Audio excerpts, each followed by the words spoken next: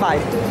Io invece sono Giovanni Santino, sono un new entry nel laboratorio, quindi ho poca esperienza nell'ambito di stand, quindi non ridete se faccio una, una figuraccia.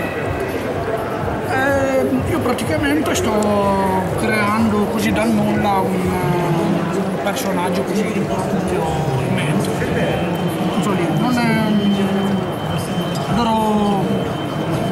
personaggi nuovi, proprio dal nulla. No, abbiamo fatto Che tecnica stai usando? Che tecnica stai usando? Che tecnica stai usando? Ah, sto usando una tecnica manga.